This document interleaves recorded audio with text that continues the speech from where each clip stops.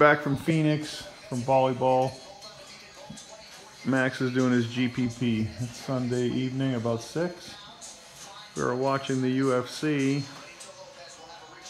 But, you know, when you sit in the car all day and sit in the stands all day, you could just come home and sit on your ass all night, or you could do some GPP.